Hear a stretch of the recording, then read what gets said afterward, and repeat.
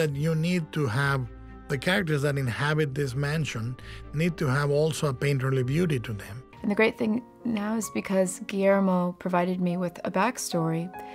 Uh, when I make choices on set, he sees why I'm making a choice because he knows Lucille's history. Y es algo muy parecido a un cuento de hadas en cierta forma.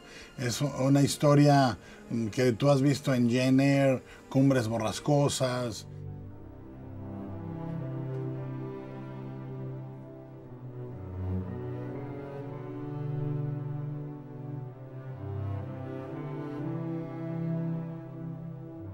It's very, very foreboding.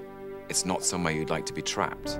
I don't know whether it's just the feeling because the set is kind of degenerated even more, but it felt quite dark in there.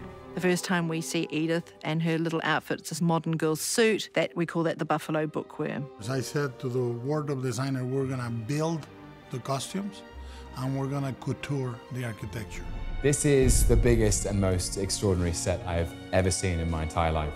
We will make the movements of these uh, corpses very, very much stylized like a dancer.